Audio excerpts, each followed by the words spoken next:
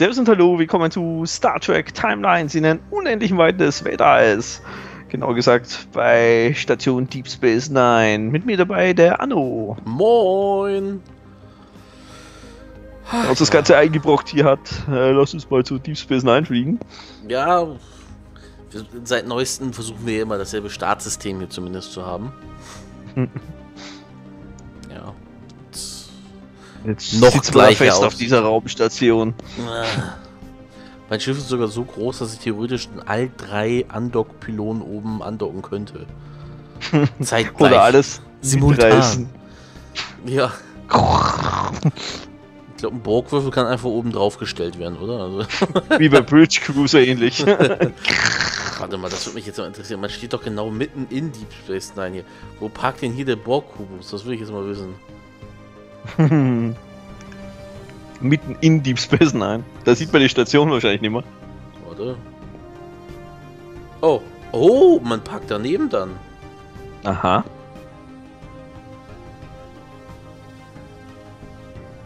Der Kubus ist so groß wie Deep Space Nine gefühlt, also. Okay. Vom, vom, vom ein Raum einnehmenden Volumen. Unendliche Größen.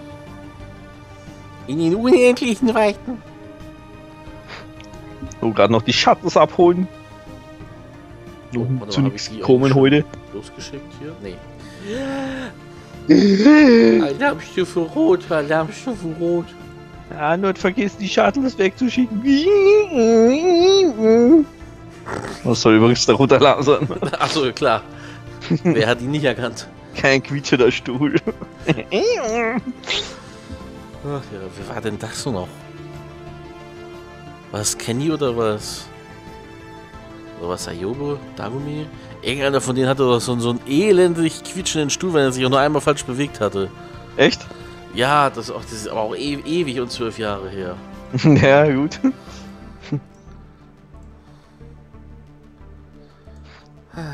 so.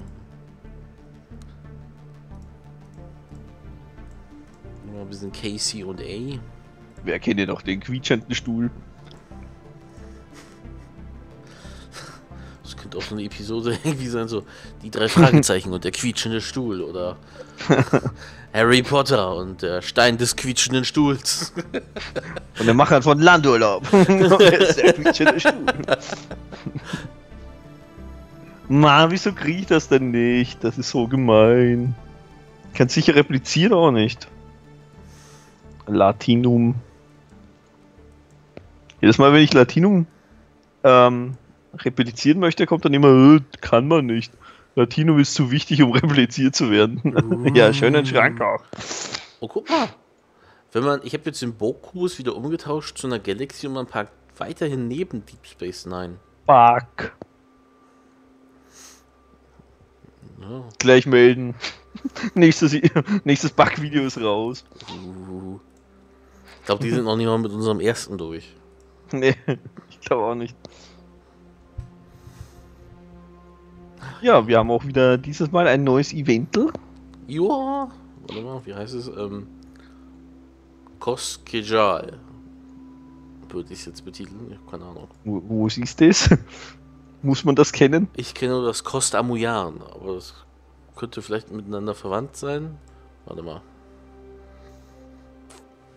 Kostketschal, oder? Es ist wieder so eine geile Übersetzung. So wie kostet fast gar nichts.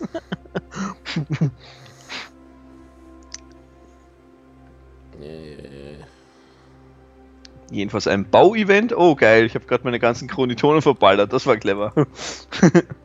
naja. Aber weit möchte ich da eh nicht kommen. Weil Spoiler, so richtig spannende Sachen gibt es da nicht. Das mit den 5 Sterne Hate, das sie letztes Jahr, äh, letztes Jahr, letzte Woche angeboten haben, das gibt es diesmal auch nicht mehr. Was?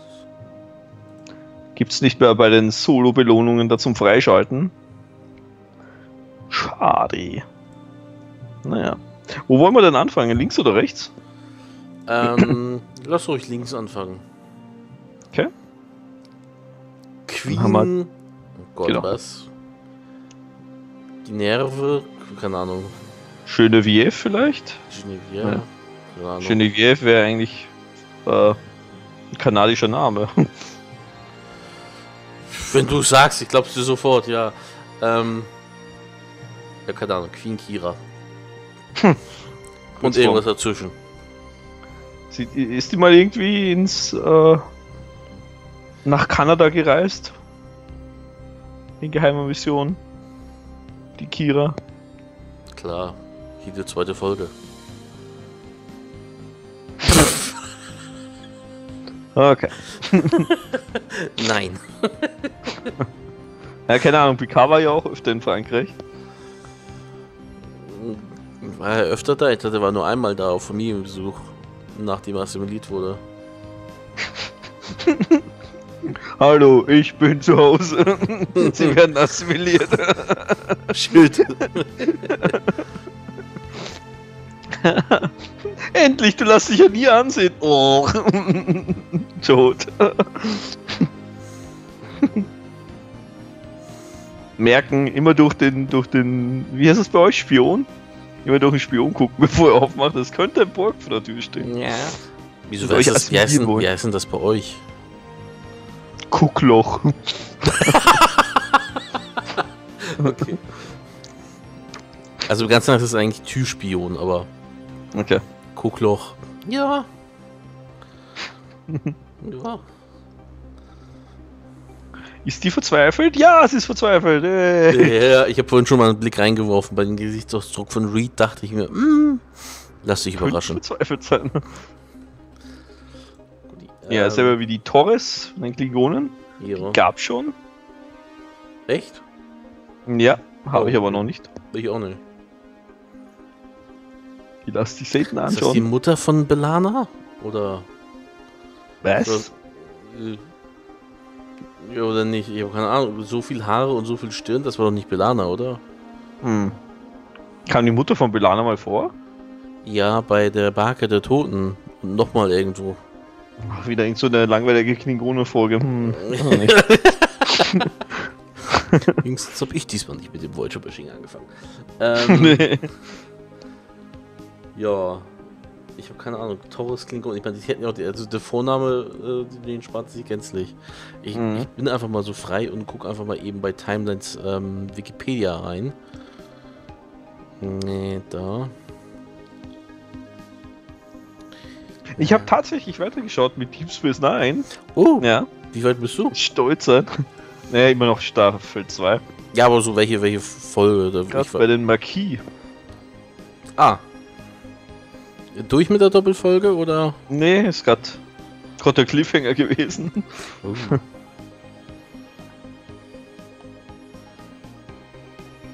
Jetzt Aber ich dachte mir von Marquis ist ja Anfang auch an, okay, sehr- der wird Dreck am Stecken haben. Das mit, dem, das mit dem Marquis ist ja auch eigentlich eins der wenigen Dinge, was sehr serienübergreifend geworden ist, weil das Ende von TNG, da gab es ja ähm, die Rolaren Mhm. und auch mal wieder immer wieder Marquis-Auftritte, dann bei Deep Space Nine und eben halt äh, Voyager mit ähm, Tuvok, Chakotay. Und KKG am Anfang. Paris. Mhm. Mhm. Paris war ja nur ein Verbrecher, oder nicht? Ja, Das heißt nicht Verbrecher, aber. ein Überläufer da, ein Spion. Ähm, Ein Türspion. nee, der hat doch irgendwas gemacht, deswegen er in der, in der Gefängniskolonie der Föderation saß. Ne, das sollte die halt ausspionieren. Oder? Okay. Wenn das so ist, okay. Ich dachte er eigentlich, er hätte Oder irgendwas was gemacht. Spion. Tuvok war der Spion auf, auf der Schiff. Spion, okay. dann. Ja. Und du schimpfst dich ein Voyager. Ja, Entschuldigung. nee, ist gut, alles gut. Ich weiß auch nicht alles. Dafür habe ich mir Toni gesucht. Toni weiß immer alles. Das ist das laufende Memory Alpha und Memory Beta in einem. Memory Tony. So. Und schon was rausgefunden? Ähm, achso, warte. Ich habe was eingegeben, aber gar nicht Ja, geklickt hier. Multitasking, ne? Das ist nicht so. Nee, nee, nee, ich, ich bin Mann, hallo, verlangt hier doch kein Multitasking von mir. So, irgendwie lädt's nur nicht. Taurus. äh, Okay. Weißt du, doch wie es heißt, wenn man, wenn man Merkel mit was beauftragt? Wenn man was? Wenn man Merkel mit einer ähm, Aufgabe beauftragt. Aussitzen. Das ist dann das sogenannte Multitask. Da, da.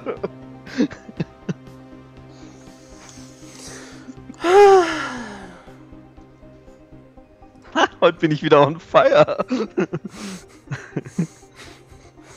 tüt, tüt, tüt. Ich stelle mir gerade vor, wie du dieses komische Lied da singst. Dieses I'm on fire. Keine Ahnung, ich kann nicht singen.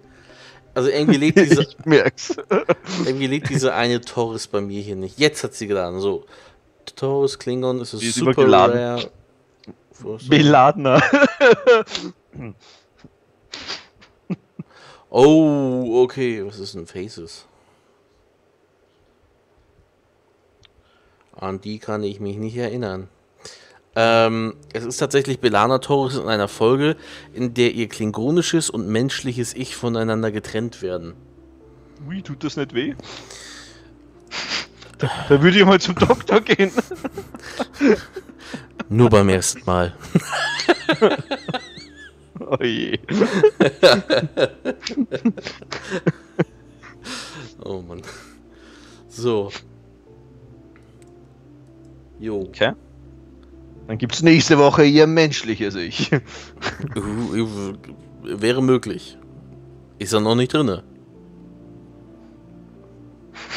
Ihr hört es zuerst. So, Na, dann haben wir noch den auch sie ist Drei-Sterne-Read. verzweifelt. Klar. So. Drei Sterne Read, den gab's schon. Mhm. Dann den vier Sterne Touristen Read, der wieder ultra hässlich aussieht. Ja, das dachte ich mir auch schon. Ich habe sofort an dich gedacht, als ich den gesehen habe. Eine Zusammenstellung aus ne? verschiedenen So, oh Gott. Photoshop-Materialien ergibt dann das.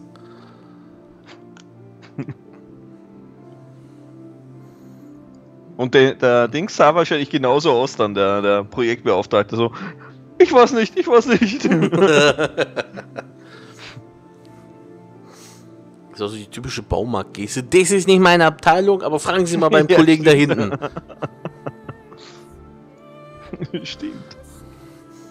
Es ist auch selten, dass eine Beschreibung nicht dabei ist. Unten bei ihm. Looking for some company on the pleasure of Planet Riser.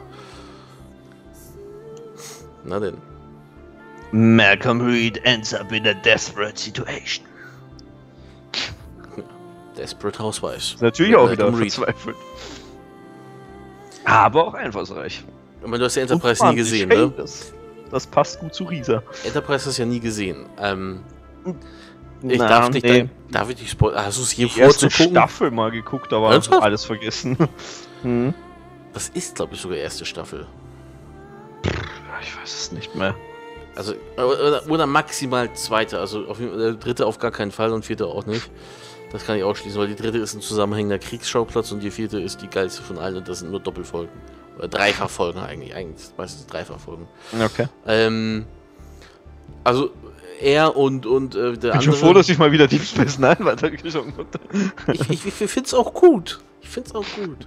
Wie gesagt, man muss nur die ersten zwei Staffeln überleben und danach wird es richtig gut. Ja, es ist immer nur so, Gott, Kira, ja, wir wissen es, dass du wieder mal austickst, deine Tage hast. Entschuldigung an alle Frauen. Wir verabschieden uns an alle weiblichen Zuschauer, also alle zwei weiblichen Zuschauer. Ernsthaft, das ist wirklich so nervig. Ja. Aber ja, vielleicht ist die dritte Staffel dann spannender.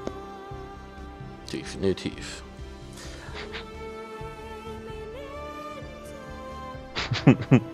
Was soll ich jetzt eigentlich sagen? Achso, genau.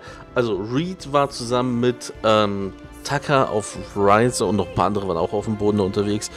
Und die sind abends in eine Bar gegangen und äh, haben da irgendwie zwei Mädels angesprochen, mit denen sie eigentlich dann, ne, hier Knickknack und so. Ähm,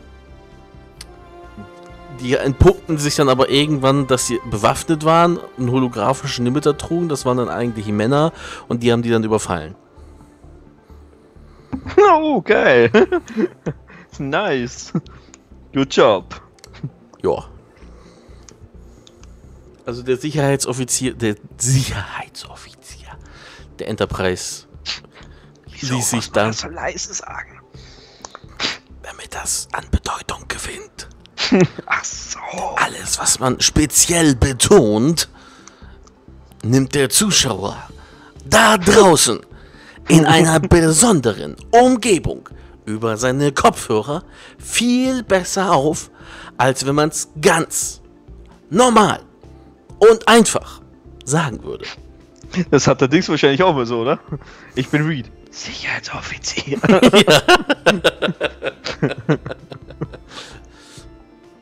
Hallo, Reed. Weil, Chef- wissen Sie, wenn man das normal bitte unter. Der hat wahrscheinlich immer angegeben, Reed, Sicherheitsoffizier der Enterprise. Erstes Warp-5-Schiff der Menschen. Und Sie sind...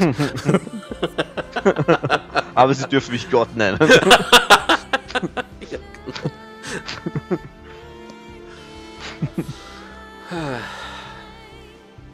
so. Jo. Ähm, das war's Eventel, ne? ja, also wie gesagt, heute diesmal kein 5-Sterne-Dude auf der rechten Seite. Nur Kein- wieder zum Glück eine Community-Belohnung, wo es dann wieder ein Portal gibt. Ein Portal, Yay. gut. Macht ihr mal, ich nehme das Portal. So, so, okay, warte mal, habe ich denn... Einen habe ich aber schon gesammelt, ne? Oder? Warte mal, ich baue nochmal Den habe ich noch, den habe ich noch. Mhm. Sehr Vorteil, man muss nur einmal wirklich teilnehmen hier. Obwohl, ja, doch, ich habe 125 Punkte investiert. Egal, so. Zack, ich habe teilgenommen. Rest können die Immer diese machen. Schnorrer hier. Ja, naja, passiert. Na, ich habe mich verklickt. Was hast du jetzt Bei der gemacht? teuersten Mission bin ich auf Maximal Warp gegangen. Nein, scheiße. 200 okay. Chronitonen weg. Hm, So ähnlich. 240. Uh, oh, okay. Na, immerhin hat die tanzende Kira nun ihr, ihr Item. Na, freue mich. Freue ich mich für sie. Tanzende Uhura. Kira sag ich. So viel Deep Space Nine geguckt. Weiter, weiter, weiter. Tanzende Uhura. So, Stufe 99. Das war die, die letzte Woche dabei war. Mm, Okay. ja, ich habe eh keinen, weil ich habe diese Woche eigentlich fast gar nichts gemacht. Ich habe das letzte Event nicht wirklich gemacht. Ich habe nur am, am Donnerstag und am Freitag ein bisschen gedattelt, das ganze Wochenende dann nicht. Montag auch war nicht. quasi Daldu. Do. ja. Dieses WE wird es eh nicht sein, weil ich ein anderes Projekt. Obwohl, es ist ja jetzt live. Ähm, was heißt live? Es ist veröffentlicht. Äh, Elite Force muss ich weiter aufnehmen. Ja. Aha, aha. I like it. Ah. Nee, ähm, Uhura kann ich auch noch nicht unsterblich machen, diese 5 Sterne und ich habe erst den einen. Also das wird noch ein bisschen dauern. Drückt Wald, wo die Daumen bis nächste Woche muss er es schon geschafft haben. Schaffst du, komm! Ich glaube, sonst habe ich niemanden diesmal. Ne? jo. Ja, wie gesagt, ich habe auch niemand weiteren neuen. Es bleibt bei 223 von 225. Oh, komm, ich habe doch, ähm, warte mal. Ich habe heute noch nicht repliziert. Ich könnte den einen jetzt hier dreimal irgendwas replizieren, dann geht das schon irgendwie. Warte mal. Na schau. Für die Zuschauer. Tu ich alles. So lobe ich mir das. Das ist Einsatz. Was die ISS? Ja, ja. Weg damit. Weg damit. Alles raus, du hast keine Miete zahlen, ne? So, Winzrobe anlegen. Ja, die will ich nicht auch weg die guckt so, so, das Grinsen, das, das macht ein Kürre irgendwie. Mhm. So, hier nochmal. 10 Replikatorrationen. ey. Teurer Scheiß. Teurer Scheiß. So, Ja. ein Drehkörper. Da, Zeit. kann man schon mal. Drehkörper nicht sogar irgendwo kaufen? Bei Bio oder so? Boah, wenn ich wüsste, wie die aussehen. Bio Unten eine Sanduhr und nach oben dann so ein großer Lichtkegel. So sind es zumindest hier designt. In, im, in Ja, der Serie sind es diese Kästen, die sie aufklappen, wo das Licht rauskommt. Könnte sein.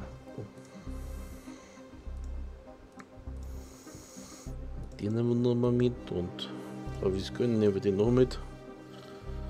So.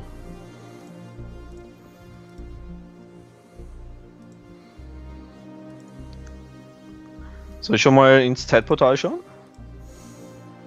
Ähm, ja, ich bin gleich da. Oh, zwei kostet das. Zwei. Zwei! Ich habe doch nur 46.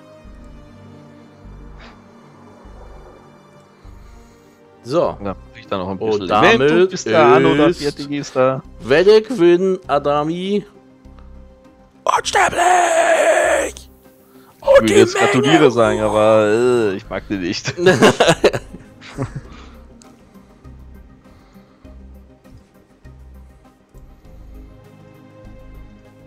Aber wieder ein Platz frei für den Anno, das ist schön. ja. Jetzt habe ich 219 von 220. uh.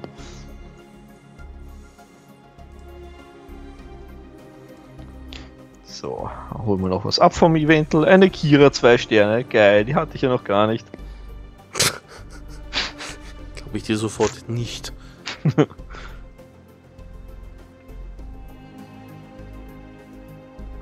Däm, tatatam, tatatam.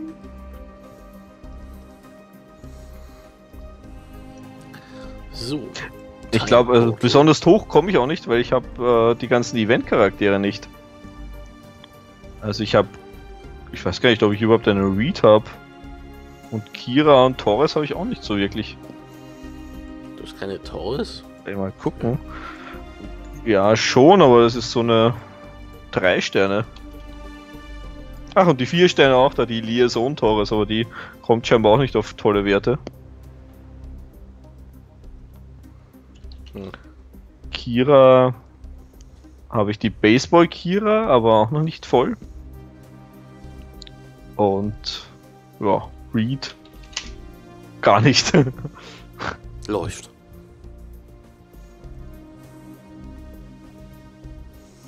ja, dann schauen wir mal ins Zeitportal, würde ich sagen. Joa. Da haben wir die 110 Euro Kira. Ein Schnäppchen. läuft. An den Touristen Reed. Der sagt auch so, Hände weg, Hände weg von diesen Aufnahmen. ich will es nicht kaufen. Nein, Also, ich an eurer Stelle, nee, nee, never ever. bloß die Finger von lassen. Und Torres ganz aggressiv, kaufen! Wenn du nicht in 30 Sekunden kaufst, erschieße ich dich mit diesem merkwürdigen Phaser. Dieser merkwürdigen Fingerfalle. Au! Selbst ausgelöst. Ja, dann haben wir noch die Freiheitskämpfer. Mhm. Nilix, Jake, den Andorianer aus Discovery. Wie hieß der nochmal? Discoverianer. Äh, Shuka. Die Rest sagen wir auch nichts. Ähm, Sugar, Sugar. dann. Den hätte ich nicht mehr erkannt. Äh, doch, wegen, weil der nicht aussieht wie die standardhaften Andorianer. Okay. Weil er so noch blauer ist. Äh, nein, normalerweise haben die einfach, sind die einfach nur blau im Gesicht und haben Antennen. Aber hier siehst du ja, dass er dieses, diese komischen Augenbrauen und Wangenzacken Mhm. hat. Mhm. Die gab es Okay. bei den sonstigen Androianern einfach nicht. Die waren einfach nur blau geschminkt zu dem Zeitpunkt. Ja, dann haben wir den Shuka, äh, nee, den, den, den Shaka, Shuka und Shaka, äh, Cassidy Yates und natürlich die profitable Ishka. Yates war auch Deep Space Nine? Yep. Zahl ist hier Deep Space Nine, was soll das? Ist halt die beste Serie. Es, Mit der Radl Nilix mit seinem Baguette ist da. Oh. Fällt da raus. ja.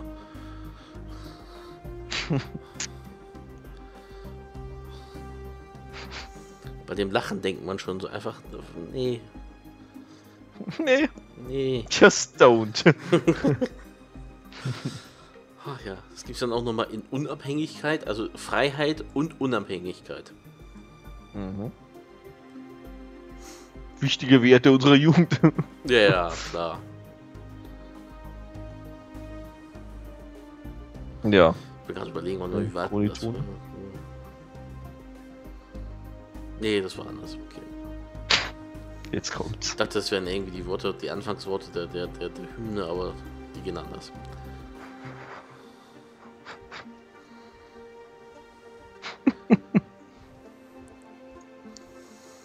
Ja, man muss echt überlegen. Also, ich, wann, wann singt man denn dieses bescheuerte Lied da mal? Na, hier ist gerade Deutschland, National, WM. Na gut, doch raus. Nicht so wirklich zum Singen. ich wollte es gerade sagen. Schämt man sich doch eher dafür, oder? Also ganz ehrlich, so, ich, ich habe die Spiele nicht alle gesehen. Hast ich habe nur, ähm, nein, nein, ich habe kein einziges Spiel wirklich komplett gesehen. Ich habe ein, das, das zweite, äh, da habe ich die ersten 10 Minuten von gesehen und dann ähm, habe ich auch wieder ausgemacht. Über, ähm, was ist das, ZDF Mediathek Portal, über so Livestream, keine Ahnung. Mhm. Ähm, Interessiert es dich dann nicht, oder? Ehrlich gesagt, WM sonst ja. Ich habe jede WM, die, die deutschen Spiele geguckt. Aber diesmal ist es irgendwie, ich weiß nicht, so dieses kein Interesse und irgendwann hatte ich schon vorher das Gefühl, das wird nichts. Toll. Hätte ich mal drauf wetten sollen eigentlich. Ah, nur als vermasselt hier. Ja, klar, ich war Glaub nicht an die Mannschaft. Nicht die Zusammenstellung dieser komischen Mannschaft da. Ich war's. Ähm, ja, und keine Ahnung. Schande, vielleicht, vielleicht auch, auch wenn man es nicht sagen darf, unterbewusst politisch, keine Ahnung, was weiß ich. Was? Wo spielt sie? Mehr sage ich jetzt mal nicht dazu. Achso. Hm. Hat jetzt aber länger gedauert. Ja, ich dachte jetzt gerade, hä? Meinst du jetzt Ösi? Ach, bei euch findet ja, die WM statt? Debatte. Es ist aber sehr kalt bei euch geworden. Gab es ja mehrere Politikdebatten. Ja, Gott, hör auf. Gerne lange so auf den Schnösel.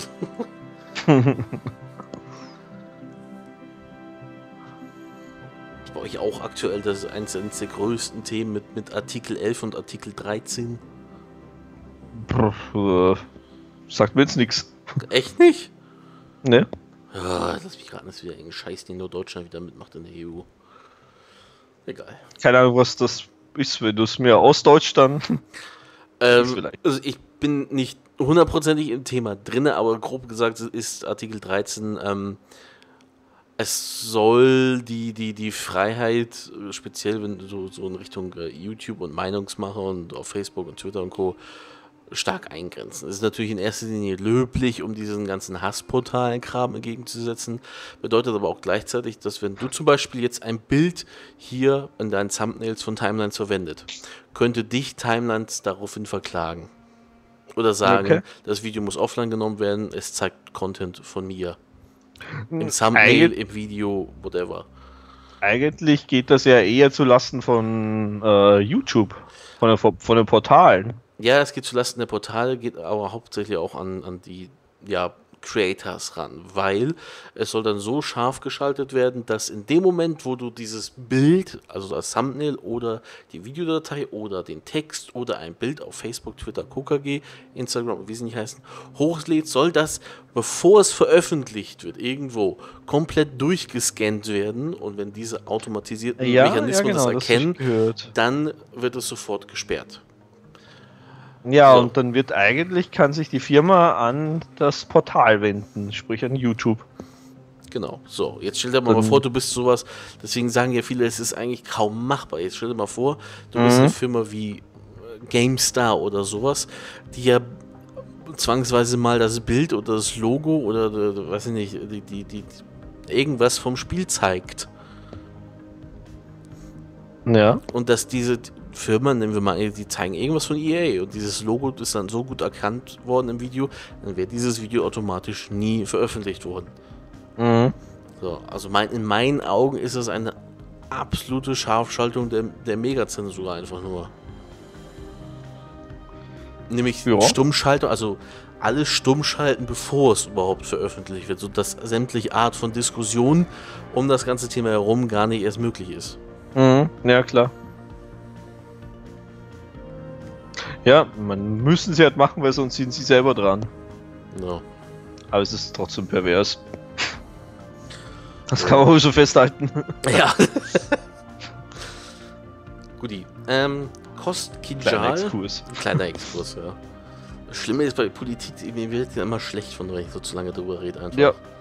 Deswegen halte ich mich da auch sehr fern von allem. Ja. Ähm, also das kostet Gijal.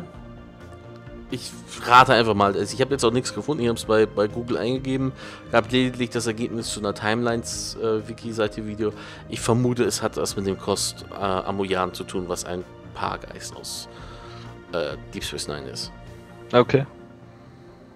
Aha. Ja. Paargeister lernst du dann auch noch kennen.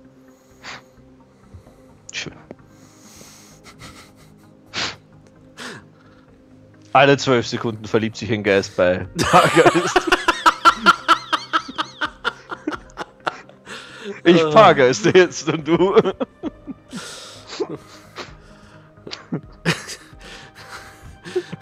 ich Elite Paargeister jetzt, wie heißt die andere Seite? oh Mann, ey.